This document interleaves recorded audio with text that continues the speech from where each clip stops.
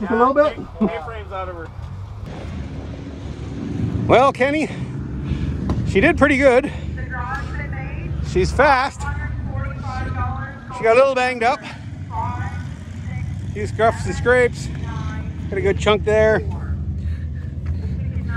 Sort of wearing down the tre tread there. But she took a beating. Just, I drove her back. But big problem is I took a big hit on the front, which you can see it wrecked the rim. Shoved the front end over and broke the subframe.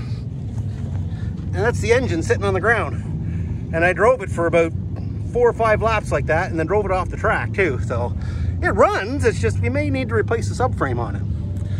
And she overheated, she stalled on me, she got hot. But when she cooled off, I fired it up and drove back. So not sure, we may try and fix it. We've got a year to do it. It still runs good, and man is it fast. But sorry you missed out. Sorry I broke your car. But uh, maybe we'll fix it up.